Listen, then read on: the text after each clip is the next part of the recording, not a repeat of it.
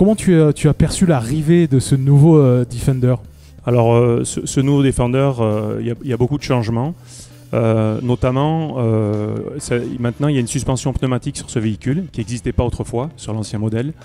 Et euh, cette suspension pneumatique, en fait, est là pour euh, gommer quelque part les aspérités euh, de la route ou des chemins, qui fait que ça, ça, ré- ça répercute pas tout et on a plus de confort euh, dans le véhicule pour le conducteur ainsi que pour les, les passagers.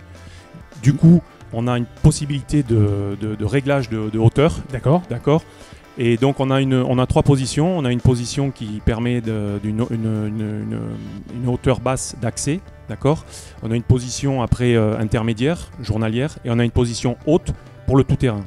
Alors une, chose très importante à bien prendre en considération, c'est que l'ancien DEF ne rentrait pas dans les parkings souterrains.